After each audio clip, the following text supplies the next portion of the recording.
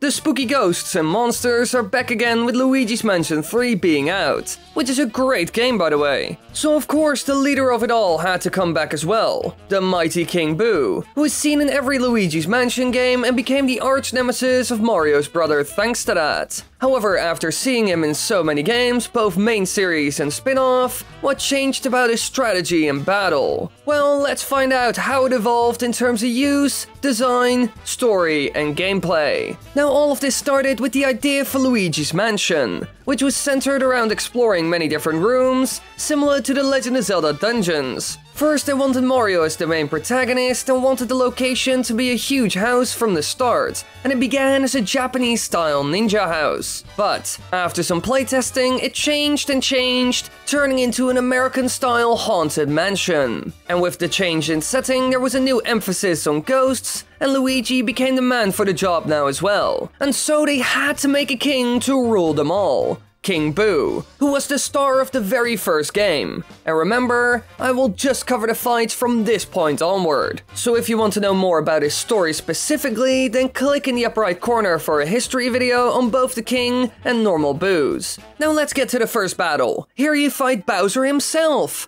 Well, I mean, not really? Because it's King Boo in a suit who controls him from the inside. He uses it to attack the plumber by shooting flames at him, attempting to inhale him into his mouth, and creating three large spike bombs that he will toss at you. So you're not really fighting the Ghost Lord himself, but him in an alternate form acting more like Bowser from almost any other game. It makes for an interesting fight from the start though, since the battle is set on top of the mansion, with everything around it looking like some hell dimension. And then you have this gigantic creature going after you. Quite a scary and impressive setting to be honest. Now you can deal damage to it by grabbing one of the spiked explosives using the poltergust and releasing it into its mouth. Thanks to this, his head is blown off all of a sudden, and so he has to get out of it, exposing himself, allowing you to use the poltergust. But while you're depleting his hit points, the suit's head hovers around the arena, shooting icy blasts at you, which will freeze you briefly. And after a while, he flies back into the dormant Bowser body and continues fighting you in this form until you once again blow off his head. And so slowly but surely, you're weakening King Boo. Eventually, you start messing with him so much that the head keeps reattaching backwards causing him to run around aimlessly. And in the end, he loses all of his life points and gets sucked up. Now, personally, I think this fight is quite cool. While you don't really fight King Boo, the battle with the suit combined with the whole scary setting works really well, although it is a bit simplistic and short, especially if you keep your distance and wait for him to throw bombs at you. So it was a cool fight, but not really a King Boo boss battle. More like a different and weird version of a Bowser fight seen in some Super Mario game. But this would change in the very next title. But funny enough, this was actually a main series game, Super Mario Sunshine. Here we see a completely different version of him who is way more goofy and not really scary at all. The battle is also very strange, revolving around a giant slot machine with images of pineapples, coins, stews, and question marks. When you spray King Boo with water, he will activate the slot machine with his tongue, and there are five possible outcomes. It can spit out coins, enemies, bubbles, and fruits, which is the thing we want, because these can be picked up and thrown. If you pick up the pepper and throw it at the king's tongue, he will panic because it's super spicy, giving you, the player, the opportunity to throw another fruit, which will damage him. However, three segments of the roulette wheel will constantly move in different directions, which can make things a bit harder, but you can stop them. And after hitting him three times, he is defeated. Now, as you can see, this fight is extremely different, and way less serious. While the last battle was a horrifying and possibly stressful experience on purpose, all of this is more light-hearted, with the whole fight being even easier now, only being a bit tedious at times, and the random effects of the slot machine really add to this. Personally, I think it's still a lot of fun, but yet again not very fitting for a King Boo. But keeping in mind that it's set in a casino, it's not a bad idea. In general, this whole game was a bit more chill. It was set in a tropical paradise, of course, while Luigi's Mansion is set in a haunted mansion. So of course it's different. But I think it's still cool to see this different version of him. And in the next game, we would see a combination of the previous one and this one from Super Mario Sunshine. Because in Super Mario 64 DS, we also take him on. And here, it's not really that spooky, or goofy. You take him on in a big room with a giant mirror, where he appears out of nowhere and then the fight starts. Now this battle is actually very fun and the mechanics that make it all function are very, very clever. Because of course that giant mirror plays a role. As soon as he vanishes, you have to follow his movements through the arena's mirror and stomp him when he comes close enough. That's it. The concept of this fight is really simple, but it works so incredibly well, and also makes a lot of sense for the enemy itself. Boos hide as soon as you look at them, so you can't do that. And the game makes an interesting mechanic out of this using the Medusa concept. You know, that snake woman from the Greek legend? If you looked at her, you would turn to stone. And boos work in a similar way. But they don't harm you when you look at them, of course. However, by using the mirror, you can still find out where it is. The whole concept is so simple, but it works incredibly well. Personally, I would say this is also the very first fight with him that really feels like fighting the King of Ghosts. It's finally fitting with his character, and something similar to this would also happen with the Luigi's Mansion game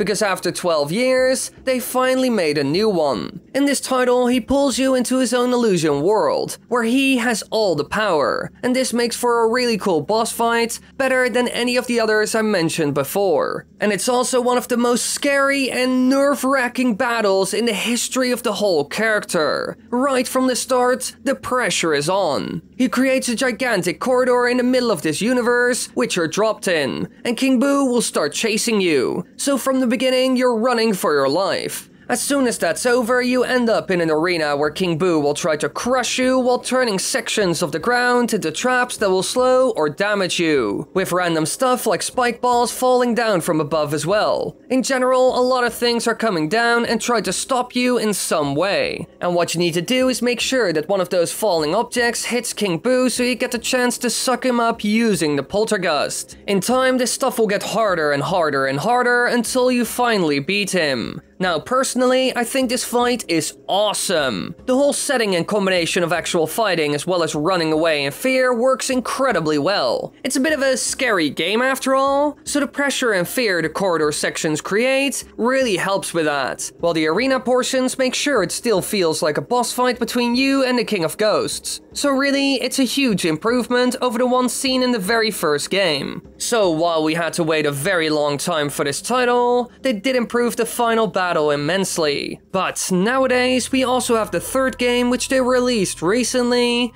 and of course here you also fight the Mighty King. And this time it's set in an arena, feeling like a serious one-on-one -on -one with the king, who is using all the powers he has. Throwing spiked balls, fireballs and bombs, slamming down on you, trying to hit you with its tongue, and casting lightning. He even creates clones of himself so he can create even more chaos. In general, this fight is a whole lot to take in, and probably the most difficult of all the games. After surviving all of his attacks, you get the chance to pick up one of those bombs and fire it back at King Boo to stun him. Then you pull on his tongue with Gooigi's help and slam him repeatedly, with him cloning himself after to make it even more difficult. And so the battle becomes harder and harder and harder. More things being thrown at you every round, which will make it really hard to dodge his attacks in the end, with the ultimate challenge being in the final round, where he will enlarge the painting giving you only 4 minutes to finish it, well there are 3 of them now. And those bombs are also way harder to get now, because they will rain down in enormous numbers, making it hard to grab one. When it comes down to it, this is one of the most crazy boss fights Nintendo has ever made, a bit like like how Bowser in Super Mario Odyssey blew people away. It's hectic, requires skill, and also a lot of focus, because otherwise you end up hitting the wrong King Boo, and you can tell them apart by looking at their teeth. Hey, little side note, there are playlists in the upper right corner with more videos you can watch. please do so after this video. Now, let's continue. There's one bad thing about all of this. It's just too much. He can do a million attacks and it's a lot to take in. Now a hard boss fight isn't a bad thing, but it shouldn't just be an overload of attacks, but actually good mechanics. And this fight has both. So I would take out some of the strategies he uses, like the slamming down. We've seen that before anyway, and it would make it a bit less all over the place. But regardless of that, this fight does a lot of things well, and all of his attacks are cool looking, as well as challenging for the player in multiple ways. I'm not even sure if I like the battle from Luigi's Mansion 2 or 3 more, but regardless of that, King Boo has come a long way. From not really fighting himself, to creating visually impressive as well as mechanically advanced battles that every player should respect at least a bit.